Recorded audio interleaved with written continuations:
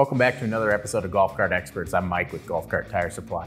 Today we're going to be installing a Bluetooth amplifier as well as speakers. The first step in the process is going to be installing the amplifier into our battery box.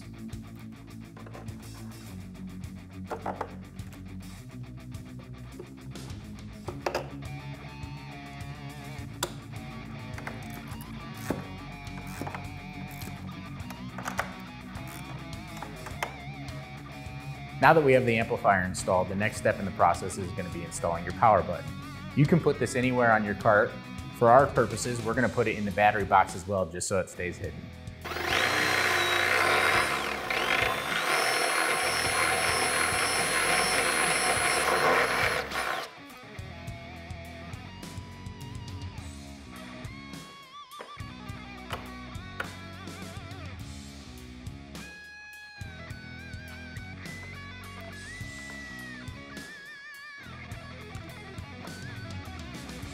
Now that we have the amplifier and power button installed, we're gonna supply power to our amplifier. If you have a gas cart, you can hook it up directly to your 12 volt battery, but since this is electric, we have a voltage reducer. Just make sure that you connect the positives and the negatives together on the voltage reducer and your system, and you'll be able to supply power to your sound system.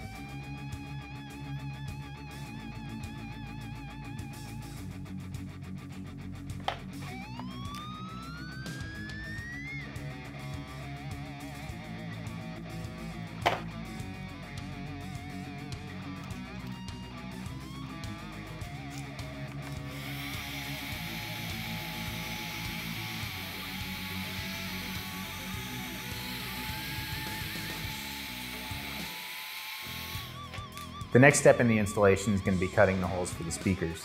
You can cut the holes for the speakers anywhere you'd like on the cart. We chose on this Club Car Precedent to do it below this rear seat.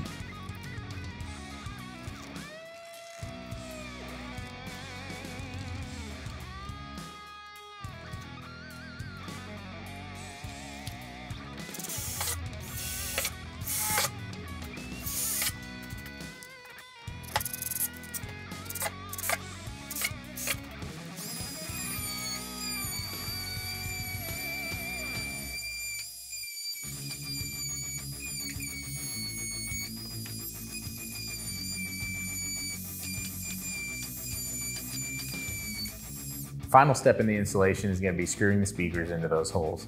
Once you get them in there, just make sure that they're connected to your Bluetooth amplifier and you're gonna be ready to be listening to some music.